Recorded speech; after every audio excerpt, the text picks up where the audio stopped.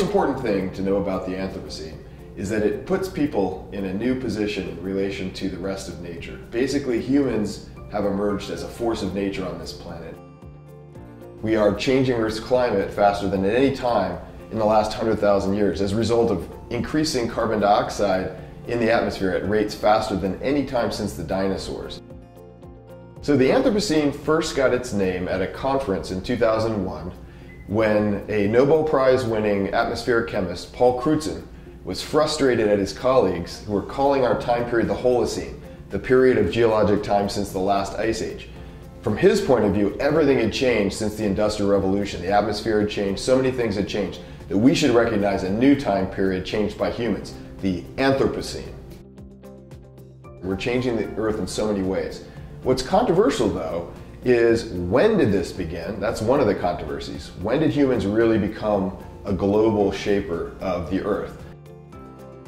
So, the group that is responsible for recognizing the Anthropocene within the geologic timescale, the official geologic history of the Earth, the geologic timescale, uh, they are proposing to recognize the beginning of the Anthropocene in, around 1950 in uh, recognition of a time period of very rapid accelerations and human induced changes in the environment that has been known as the Great Acceleration.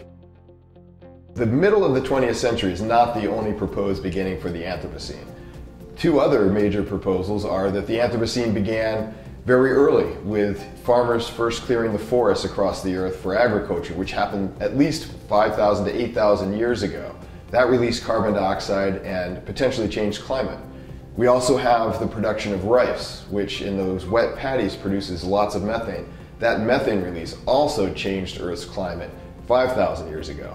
And you even have the proposal for beginning the Anthropocene in the year about 500 years ago with the old world, new world collision, where you have uh, the old world meeting the new world, bringing its diseases and other types of devastating uh, effects on the populations of the Americas, which caused a huge regrowth of forest and brought down carbon dioxide. One of the biggest questions about the Anthropocene is whether it should be considered to be a bad thing. Uh, and, and the reason that it's uh, a big question is because so many of the definitions of what humans are doing to this planet are negative things, like changing the climate and causing mass extinction. Uh, yet, on the other hand, uh, the Anthropocene is not over. And it really remains to be seen what we're going to make of this human time period. The Anthropocene is really a new story about what humans are doing to the environment, what it even means to be human. Uh, and as a result, uh, you see every kind of idea from humans being the destroyers of this planet to humans being the salvation of this planet.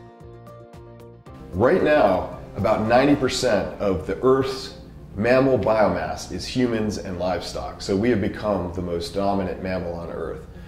We've also been putting so much plastic into the environment that if you take all the plastic that we've produced so far on Earth, we could wrap the entire planet in a thin layer of plastic film. We humans are going to shape the future of this planet.